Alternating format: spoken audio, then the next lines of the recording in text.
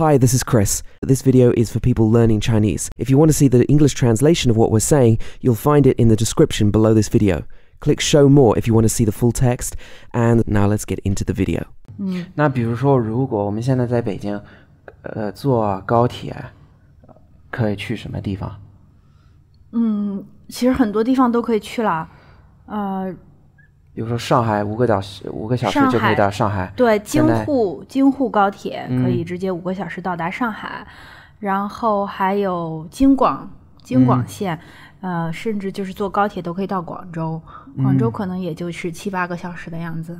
嗯，嗯，所以从北京你可以去西安，你可以去啊、中国的东北，也可以去南方一些城市，可以直接去呃广州或者直接去上海，嗯，东部也可以去到山东、青岛。山东或者青岛都可以、嗯呃坐高铁到的。对，嗯，而且我还听说，这个现在从北京可以直接坐，我不知道是动车还是高铁去呃西藏的拉萨，直接坐这个呃车火车就可以到了，是这样的吗？呃，京藏铁路是一直都有的，然后呃，我现我不是特别确定，就是这个火车的速度。其实嗯到云南啊、西藏啊这些呃西部的地方，北京都是可以都是可以通过火车到达的。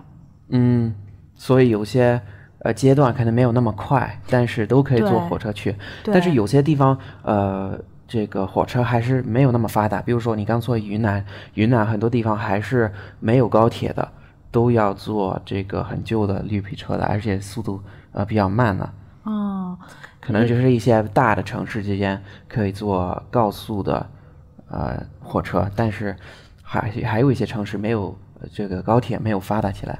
是，而且因为我知道修铁路，呃，尤其在这些偏远的这个山地的地区，他们很多的这个铁路轨道都是挖了山洞，是啊，穿过山洞，啊、在这个在山里面修起来的铁路也是很大的工程，对，所以嗯、有些地方这个铁路也不是特别好建呢。对对，那么其实这个高铁跟动车有很多跟呃飞机上的一样的体验，比如说你到那个火车站也需要安检，是这样的吧？是是，这也主要是因为呃近年来大家对这个呃安全意识。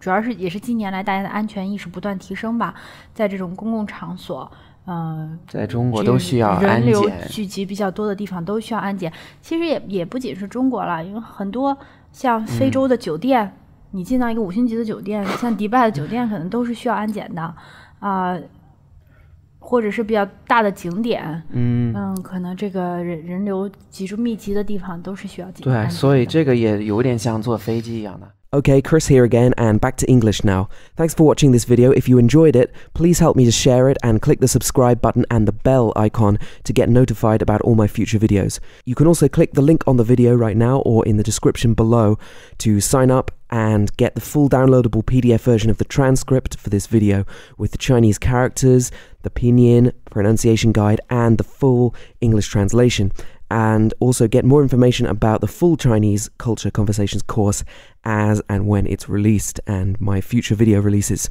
Thanks for checking out this video and see you soon.